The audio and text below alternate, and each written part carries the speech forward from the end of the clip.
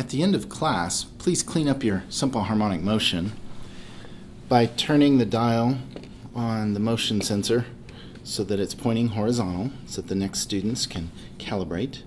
Place the block here, make sure that the mass is hanging, meter stick is back there, and please turn off your digital balance. And that's how you clean up from simple harmonic motion. Thank you so much.